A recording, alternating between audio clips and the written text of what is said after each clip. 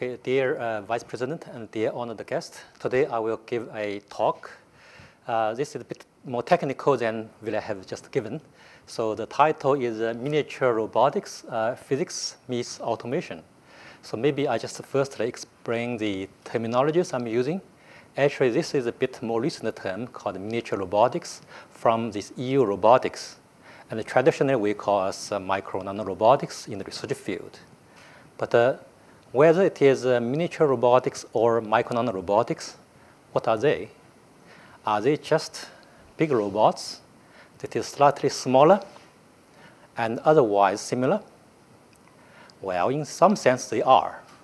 So this is an illustration drawn over two decades ago by our early researchers. So you see the robot also have some kind of manipulator, and uh, it can move around, and also have, I mean, they look like robot, but looks like smaller robots.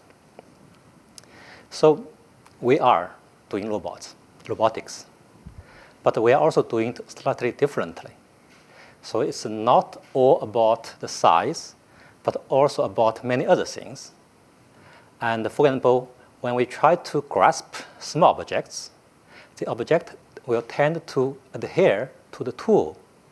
And in some cases, when the liquid is present, it will also try to pull the part back. And uh, so the phenomena will be very different. And this requires us to study a bit more the physics. So what are the physics? Actually, the physics is very simple. This is the illustration of the physics. So we have a cube, two cubes, a large cube and a small cube. The large cube have the length of the edge be 10. Let's forget about the unit. And the area of a facet be 100, and the volume be 1,000. But if we scale down the system 10 times, we will get a unit cube with the edge be 1, area be 1, and the volume be 1. So this is really trivial. But this actually explains what's the difference. So if you have any physical quantity that is related to the length or volume, they will become much more important than any other physical quantities related to the, uh, sorry, to the area than to the volume, like the gravity and inertia. So if we see a little bit more uh, closely to a real example, that we have different forces acting at a millimeter scale on, on the uh, uh, left and micrometer scale on the left.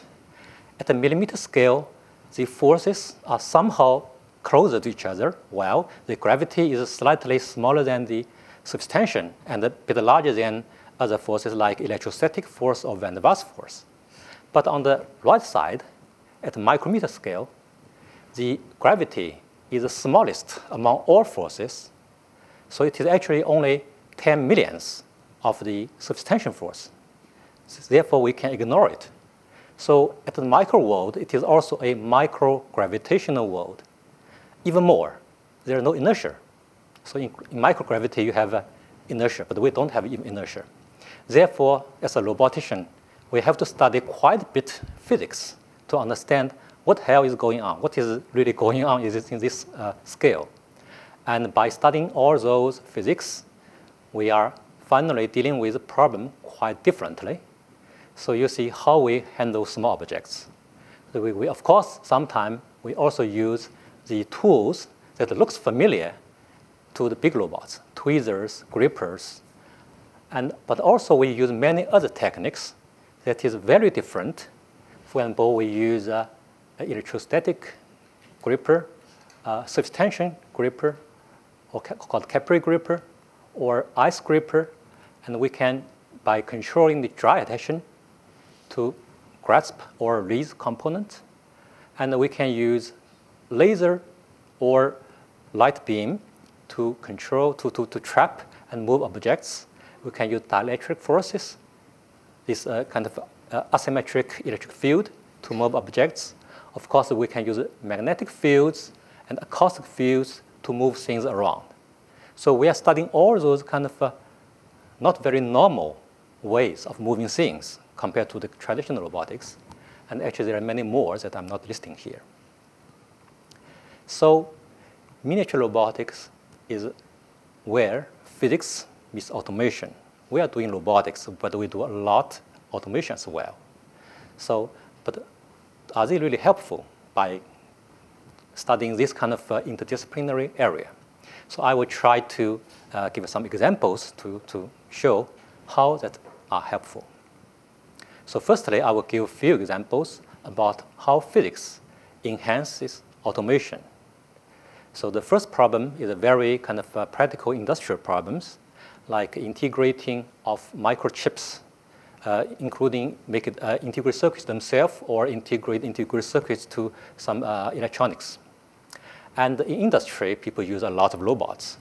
And the robots, they can have different kind of, the kind of vacuum gripper or something more advanced, super fast uh, kind of manipulation systems. They can manipulate parts very fast.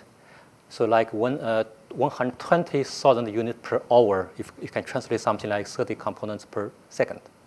And they are very fast, but they are not very accurate. If you see the accuracy, they, they are around some tens of micrometers. There's also robots that can do things very accurately, but also very slowly. So fundamentally, it is a trade-off. Can we do things very fast and very accurately? And to solve this problem, we need actually a toy. So I will show the toy. So this is a very uh, useful toy for a baby, and I don't know who has invented it. Uh, the idea is that uh, the baby can, they, they don't have very good motor skills, so they just take the parts and try to fit into those cavities. And it's kind of template that help the parts to fit inside. And we just can, well, borrow the ideas and uh, then do it slightly differently. Of course, we use the physical principle called surface tension instead of the cavity. And when the uh, surface tension is uh, applied between the where it should go, the template, and a part, it will try to put there. And this process is called self-alignment. And if the parameters are right, you will get the job done pretty easily. We just throw things there, and it will align pretty accurately.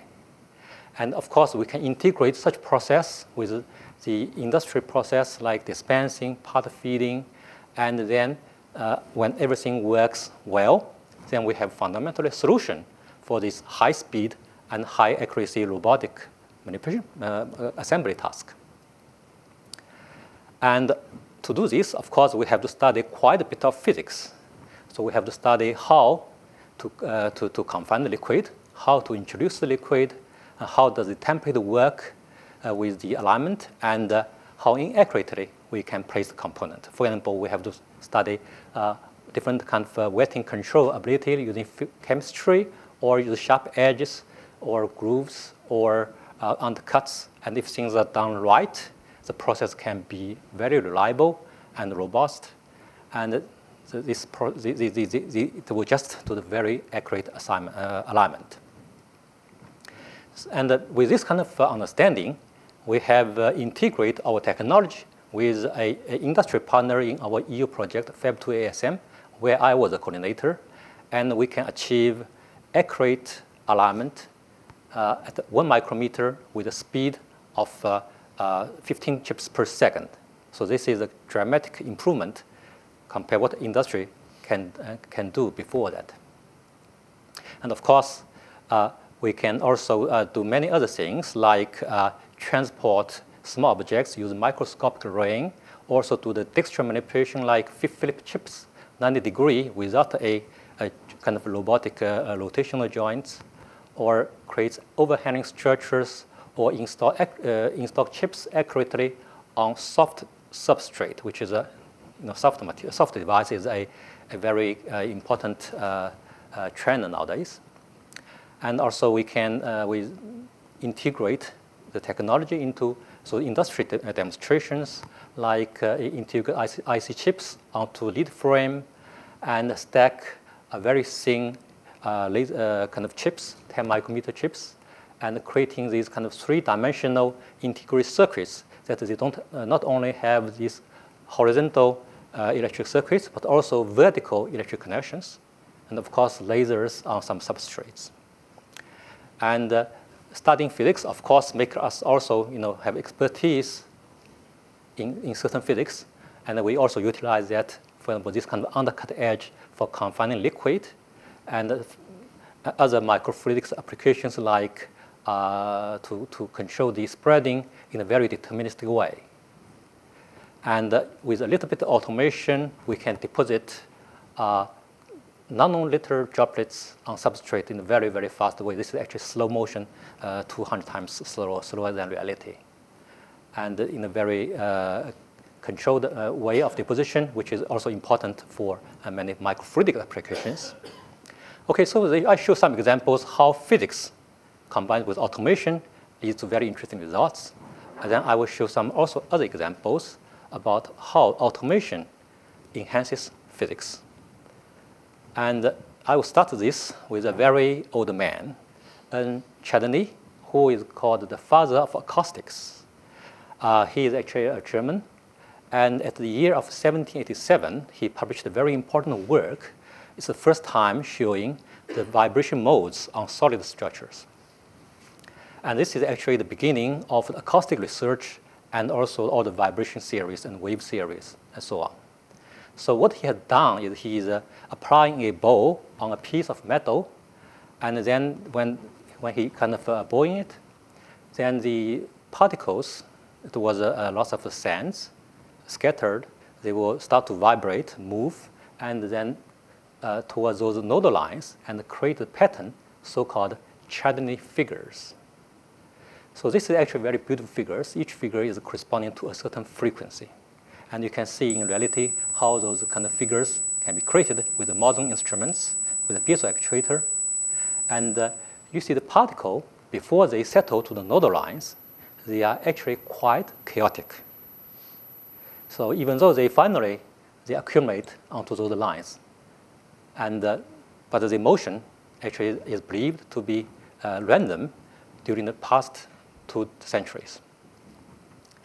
And uh, we also, we just studied this using a bit of automation methods instead of the pure physical methods. So this shows how single particles move under the vibration. And you can see the front or back edge of the particle, they hit the surface in a quite chaotic manner. There are no real rhythms. Which one hit first, which one hit second. And if you try to model this using physics, use first principle methods, you will not get very say, deterministic or understandable way of uh, how the thing should work. But if you step back a little bit, and then we will see, in general, the particles still move towards the right side. So what we do is we use our uh, data-driven modeling methods. So we played, uh, placed lots of particles on the uh, plate, and then play these small pulses of the vibration and see how they work. And then we can use a, localized least square method to model those motions and create a map. And we actually have done this for uh, 59 frequencies. And uh, if you play those uh, kind of different, say, uh, uh, uh field in sequence in the right way, if we know when the particle is, then we will have a good control of the motion of the, of the particles. And this shows uh, the, uh, how we control the particles in the real uh, uh, uh, uh kind, of, kind of real life videos. And you see this is actually not a particle, it's a washer, seven millimeter size, and they moved quite fast and to, following a uh, quite complicated, say, trajectory. And uh, it is actually the, the, the, the, accuracy is quite good. And we, we can also uh, control uh, multiple particles simultaneously and independently if we play the field uh, in, in, a, in a good manner. We actually use a linear programming controller that controls the uh, two objects towards the, uh, their corresponding target. And by playing this sequence of music notes, we achieved also can uh, this kind of simultaneous and independent, independent control of multiple particles. And this shows some real-world examples.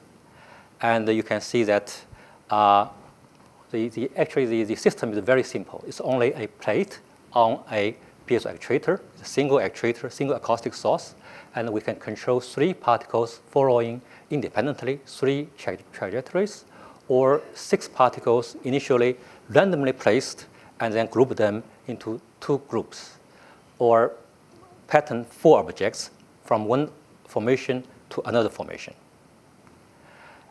And actually, you have to think this all has been done with only a single actuator. This is unprecedented, uh, say, ratio between how many motions you can control with one device. And of course, we can also do it uh, with something more useful. Uh, for example, uh, this is a, uh, some micro droplets are loaded on two solid carriers, and they are merged together. And this is fundamentally I, I, I will create a, a, a, microfluid device that uh, can be useful for analyze of uh, uh, biomedical or, or, or, or pharmaceutical uh, substance. And uh, besides this, of course, I briefly also show some other uh, examples how we can help physics. For example, we can use those kind of miniature robotics together with uh, very high sens sensitive uh, force sensors, we can measure nanonewton level force. And for example, we can detect the coating strength of atomic layer deposition, which is nano-layer deposition on the surface or as a membrane, and also uh, to, to, to, to measure the dry and wet adhesion between microparts. And also we can move very small particles, such as uh, those magnetic particles, which are a few micrometer in size, and we can selectively pick them and place them very accurately. So they are also useful for uh, pharmaceutical applications.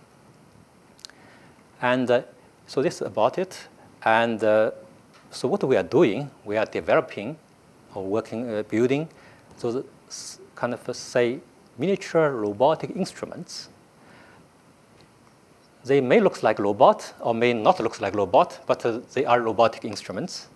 And uh, we use them to manipulate very small objects like biological cells, microparticles, um, microfibers, some in vivo device, droplets, uh, integrated circuits, or other kind of uh, microchips. So we can, uh, by combining physics and automation, we can do a lot uh, in a more deterministic way and, and with lots of new capabilities. And the impact area includes the biological, biomedical, and microsurgery. So we can do cell manipulation in microfluidics uh, analysis, uh, drug, response, uh, drug uh, response study, uh, biomechanical characterization, in vivo diagnosis, for example. And in material science technology, we can use for characterization tasks like for adhesion, strength, wetting, and, uh, and structure say, uh, surface properties. As well, we can do construction of test structures and specimens. And in manufacturing, of course, they are good tool for integration and testing of uh, semiconductors, uh, optoelectronics, microsystems, and many other things.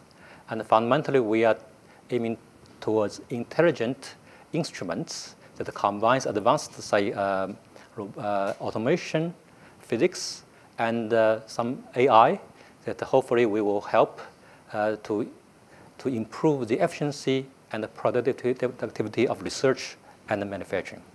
Thank you.